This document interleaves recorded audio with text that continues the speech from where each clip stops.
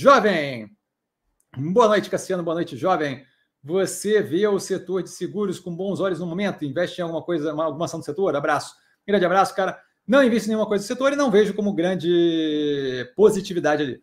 Tá? A gente tem operações de seguro no Brasil, em geral, tá? especialmente as de maior porte, as de maior porte Caixa Econômica Seguridade, é, Banco do Brasil Seguridade, são operações ali que estão numa velocidade de cruzeiro, sem grande oscilação é, nos resultados, na qualidade entregue, tem grande estrutura, são operações que sabem trabalhar naquele porte, são estruturadas e por aí vai. Então ali tem pouca emoção. Geralmente trabalham com uma precificação mais casada, mais próxima de algo do que elas entregam. Então, sem muito espaço para evolução, eu não, não vou. É, tendo muito ativo descontado, sem um custo de oportunidade. Cada real que eu alocaria numa operação de seguro é um real que eu não aloco em outras operações ridiculamente descontadas, como Guararapes, Grupo Cas Bahia, Lojas Renner, é... uma cacetada, certo? A gente tem uma cacetada no portfólio, muita, muita, muita operação descontada, que eu não vou ficar citando aqui o portfólio, vou citar o portfólio inteiro. É, então, não vejo como, como atrativo nesse sentido. Outras operações que poderiam se beneficiar, que tem um pouco mais de volatilidade, como Porto Seguro, que eu vejo com uma dinâmica interessante, é interessante, mas eu volto a reforçar. Nesse momento, a dinâmica ali de eu captar é, prêmio para alocar aquele prêmio em ativo livre de risco, no caso da Porto Seguro, até um pouco mais de risco, que eles eventualmente têm uma, eles têm uma carteira de ações que eles, que eles, que eles operam um pouco mais arriscado, justamente é, começaram quando o juros estava mais baixo e ainda tem algum nível ali de operação em renda variável.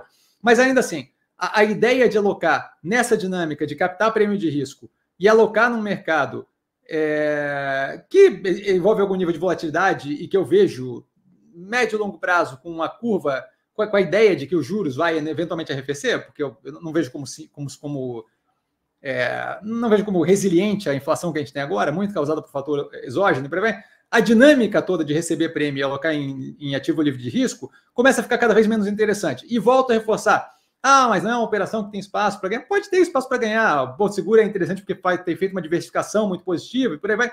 Mas ainda assim, quando eu olho para essa opção ou outras opções que estão ridiculamente descontadas e com um caminho muito mais claro, volto a reforçar: o dinheiro não tem carimbo, certo? Então, cada real alocado num Porto Seguro da vida é não alocado em qualquer outra operação. E aí tem uma cacetada de operação ridícula, absurdamente muito descontada, certo? E aí eu não vejo qualquer dinâmica que, que faça eu ter interesse nisso. É, o descasamento, se existe, a gente eventualmente analisa Porto Seguro, tem várias análises do canal já. É possível que eventualmente venha analisar de novo. Mas a, a, o descasamento entre entrega e precificação numa Porto Seguro, menor ainda no caso de um Banco do Brasil Seguridade, Caixa Econômica e Seguridade, não compensa a alocação de capital tendo discrepância gigantesca que eu tenho em vários outros ativos. E aí você pode argumentar, ah, é mais risco, é menos risco. Então, eu não vejo como problemático o risco corrido com operação discrepante, como Azul. Azul é outro exemplo ridiculamente absurdo. Açaí, Grupo Caso Bahia, Lojas Renner, Guararapes. Hum, não, não, não, não, existe qualquer lógica na minha cabeça nesse momento, um descasamento ridículo entre entrega, especialmente entrega quando olha para o horizonte futuro, e operação do que eu tenho no portfólio versus é, alguma seguradora. Então, nesse momento, zero de interesse nos ativos. Eventualmente, especialmente em momentos de maior é, de, de, maior racionalidade no mercado, onde as coisas estejam melhor precificadas, aí talvez.